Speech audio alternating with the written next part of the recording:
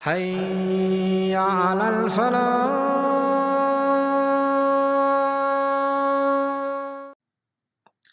Assalamu alaikum wa rahmatullahi wa barakatuh. Once again, Bismillah walhamdulillah wa salatu wa salam ala rasulillah wa ala alihi wa sahbihi wa man wala. So before I start tonight, inshallah ta'ala, I actually wanted to uh, let everyone know, inshallah ta'ala, that this next Monday, uh, bidnillahi ta'ala, we're going to be releasing a new series that we just put together in the last couple of weeks called For Those Left Behind. And this is going to be a series um, primarily for communities and families of those that have recently passed away and that are asking a lot of questions questions about why, questions about how do we connect, questions about um, whether or not the deceased hear us, uh, do they know when we visit. Um, do they uh, do, do they receive the good deeds that we do on their behalf? What good deeds should we do on their behalf? What dua should we make for them? Uh, all of these different questions that constantly come up about death and then some of the practical things. So, some of the questions that arise about idda, about uh, aza, um, the waiting period, about the condolences, some of the spiritual dimensions of the janaza, the burial, what are the sunan um, that we should practice uh, in these times. And so many other different things, inshallah ta'ala, that come up. So it's going to be a 15 episode series, inshallah. We just finished recording it, and inshallah ta'ala, we'll start releasing it um, hopefully night ta'ala this Monday, and it will be released daily, inshallah ta'ala, uh, until we complete all 15 episodes so that we can reach those who uh, who need it, inshallah ta'ala. So please be on the lookout for that. And so we'll actually pause the Monday night reminder and continue to pause the first until that is completed. And then we'll restart the first, inshallah ta'ala, in February. Uh, with that, inshallah ta'ala, I wanted to uh, talk today about um, a very special saying um, and concept of how we approach life. And some of you saw the posting about uh, Brother Ihab, rahimahullah ta'ala. And I know that people are dying in different communities. And I just want to tell everyone, by the way, make it a habit that as it comes across your um, your screen, that this person passed away, my uncle passed away, my mother passed away, whatever it is, that you make dua for people, that you pray for people. Because we're seeing those messages pop up on our Twitter feeds, on our uh, WhatsApp groups, wherever they are. Uh, we're constantly seeing those things pop up. So make dua for people. Here in Dallas, we had four janazas just today. Just today. Brother Ihab, rahimahullah ta'ala, was this friendly, sweet face that you would see every time you went to Brighter Horizons Academy. And um, he always had a joke. He always had warmth that he gave. His wife is a Quran teacher, uh, beautiful family, and just beautiful person. And um, my last memory of him, subhanAllah, is a janazah that we prayed for Hafid Ibrahim uh, just a few weeks ago, who was a young uh, Hafid that passed away due to cancer.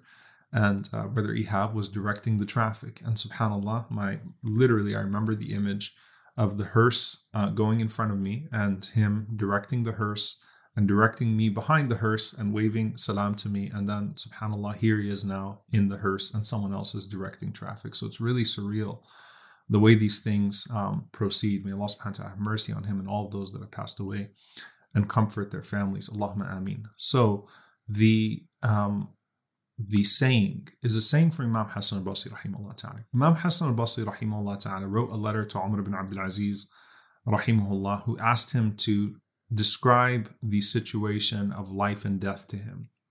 Give him a few words that would help him understand the reality of life. And he responded and he said, إنما الدنيا حلم والآخرة يقظة والموت متوسط ونحن في أضغاث أحلام. He said that life is but a dream. The hereafter is where we are awake. And death is the transition between them.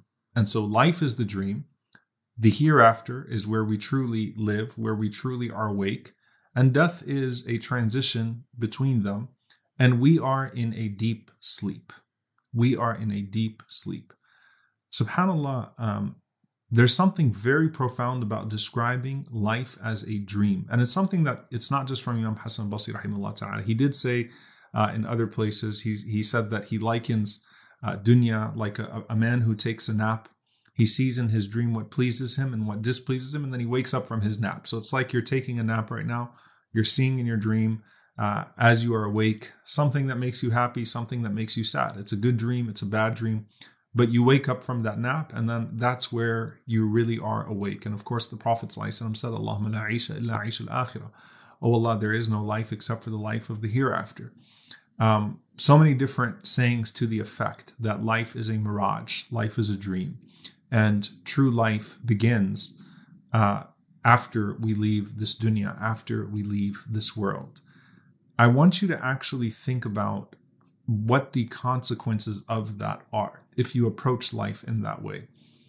Allah subhanahu wa ta'ala in Surah Al-Mulk, um, الَّذِي خَلَقَ الْمَوْتَ وَالْحَيَاةِ Allah subhanahu wa ta'ala mentions the one who created death and life. And he begins from the point of death because not existing in this dunya is the default. It's actually the default. The majority of our individual and collective existence is not in this world. It's not in this world. And so you start from the point of, I existed prior to this dunya. I took shape in this dunya and I will exist after this dunya, right? I will move on after this world. You, you start from that default. You start from that place of transition, of a dream, and of real life beginning after this life. And that does a few things to you.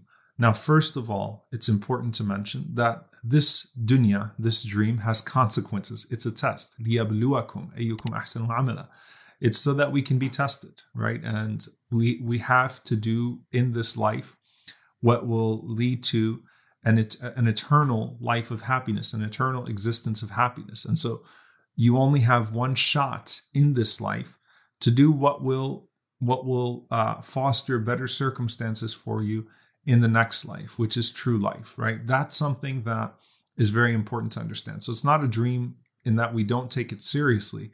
It's a dream in regards to its temporary nature. Now, why is that so significant? Have you ever actually been in a dream and known that you were in a dream? You know, I, I, I can relate to a few of those experiences, or I can I can remember a few of those times where I was in a dream, and in the midst of that dream, I realized I was dreaming, right? when you know that you are dreaming in the midst of your dream, what happens, right? You're not as saddened by the things that happen to you then. You're not uh, as as excited about certain things that are happening because you realize it's a dream. And so you are tempered in that regard. And in, in, in this dunya, once we realize it is a dream, it's a mirage, it passes by so quickly. And we will see in it what pleases us and what displeases us. But you know that it is going to come to an end and you know that eventually you're going to wake up, then that allows you to always keep things in perspective, to always keep things in perspective. And the Prophet wasallam, what would he say to the companions when he would tell the companions that you're going to see very difficult days? He would tell them, Be patient until you meet me. Be patient until you meet me, right? So, look, it, you're going to wake up. You're going to come out of this dream. And this dream has consequences. So make sure that you do what you need to do in this dream in the short time that you are here. And also don't become a nightmare to someone else. That's not what you want because in the dhulma, uh, oppression is dhulumat, is darkness upon darkness upon darkness on the day of judgment. So if you become someone else's nightmare in this life, then you will live a true nightmare on the day of judgment in the hereafter. May Allah subhanahu wa ta'ala protect us from uh, from that fate. Allahumma ameen. So do in this dream what will cause you to enjoy your true wakefulness in the hereafter. And do not become a nightmare to anyone else in this short dream that you have, in the short period that you have on this earth. But approach life that way. Approach it that way so that you are not too attached to what comes in this life, not because Allah subhanahu wa ta'ala does not want you to be happy. No, you find moments of joy and happiness in this life, and that's okay. The Prophet found moments of joy and happiness in this life, but he was never deluded, right? He never was deluded by that happiness. And it's not that you don't find sadness. No, uh, empathy comes from a place of, or empathy is related to sadness, right? When we see hurt, uh, we feel sad. We we see things that cause us sadness, but not to become so disappointed, not to um, not to despair, because it's a dream. So, subhanAllah, I mean, this was just something that I was thinking about. Um, you know, this this powerful saying from Imam Hassan al Basri, rahimahullah ta'ala, that إنما الدنيا حلم والآخرة يقظة والموت متوسط ونحن في أضغاث أحلام.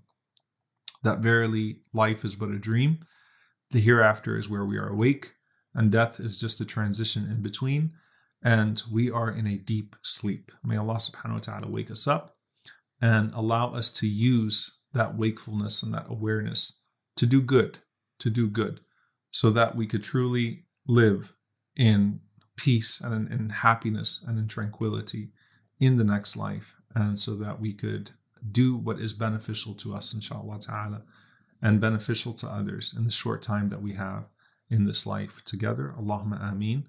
Uh, once again, uh, just a reminder when you see people's names popping up across your screen uh, that this person passed away and that person passed away, make dua for them. Take a moment to pray for them, to make dua for them, and um, and to be sincere in your dua for them, in your supplication and prayer for them. So don't just scroll through and say, it's just become too many names now. No, take a moment to do so. And inshallah ta'ala, um, I hope bidnai ta'ala, the series that we'll start releasing next week will be of benefit uh, to everyone, inshallah ta'ala.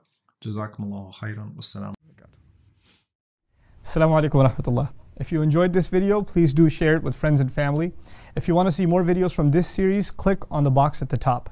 If you want to see other videos, click on the box at the bottom. And don't forget to hit the subscribe button. Thanks.